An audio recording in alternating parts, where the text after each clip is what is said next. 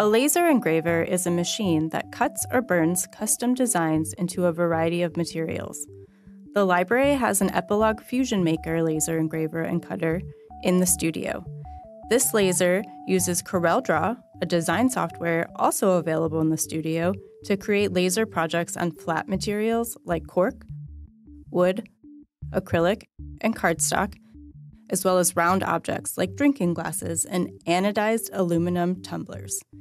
You can design your own project using built in text and basic shapes in the CorelDRAW software, or import simple images from the web and even digital photographs. The studio has everything you need to get started, and a staff member is always in the studio for troubleshooting.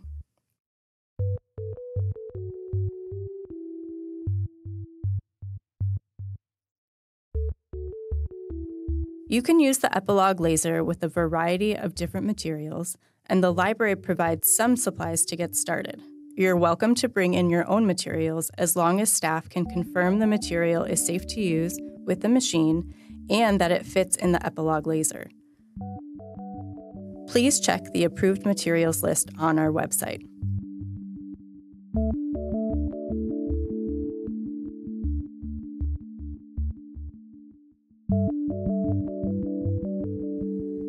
This video will talk you through the general process of designing a simple project with an acrylic square. Learning guides for using the Epilog to make a variety of projects with library provided materials are available in the studio and include more detailed step by step instructions. To start, launch the CorelDRAW software on the Studio laptop.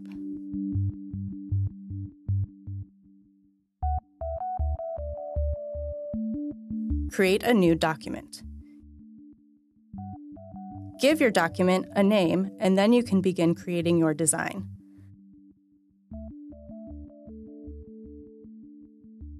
The document size should be the same size as your material. For this example, the acrylic square is 4 inches by 4 inches. All studio provided materials have measurements in the associated learning guide, but for your own materials, you'll want to use a ruler to double check dimensions.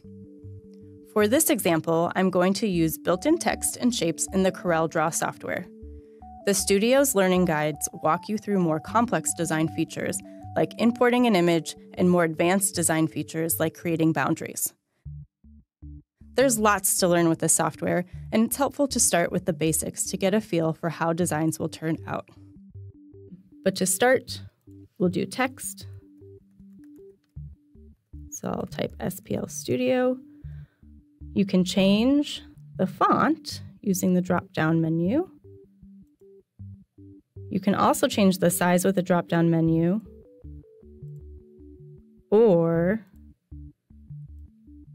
by using your mouse to enlarge or make it smaller.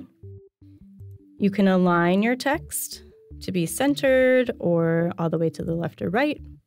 And then I'm going to use a keyboard function to center my text to the page by pressing P. And now it's in the middle. Next, I'm going to add a built-in circle. If I hold the control key down and draw it, it'll be perfect. So I added my circle and I also want to center that to my page. Um, I could press P again on the keyboard or I can go to Object, Align and Distribute, and center to page. My circle is a little too big for my square, my acrylic square, so I'm going to make that smaller. And then I'll center it again. And now it fits. Because I want the circle to cut, I'm going to change the outline width to hairline, and that tells the laser to vector cut and not engrave. The text I don't have to change at all because I want that to engrave. Okay.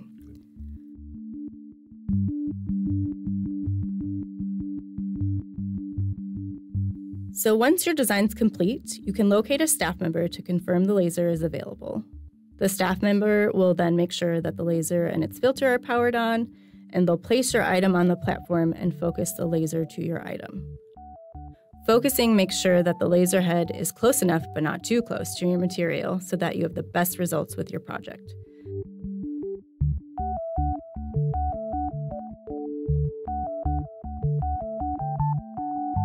Then you can select File and Print to enter the material settings for engraving or cutting. So File, Print. I'll click Print again. And because I'm engraving and cutting, I'll enter both. So I'll start by entering my engraving settings. I need them to be 60 and 20. And for my vector cutting, I'll change those to 5, 100, 100. The settings for library provided materials are listed in the learning guides. For safety reasons, please ask a staff member to check your design and material settings before you send your design to the laser. Then click Print and walk over to the laser. When the laser is ready to start your project, it will list your project on the control panel. Make sure your project is highlighted or selected.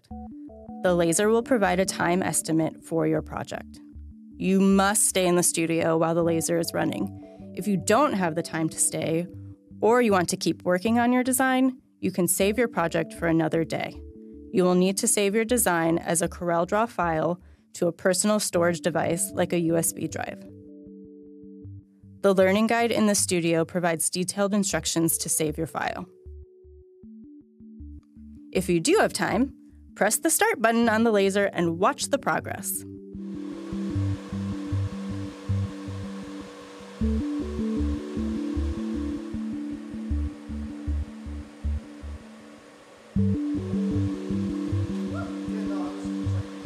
The Epilog laser will beep when the project is complete. Wait about 30 seconds after the beep before opening the lid.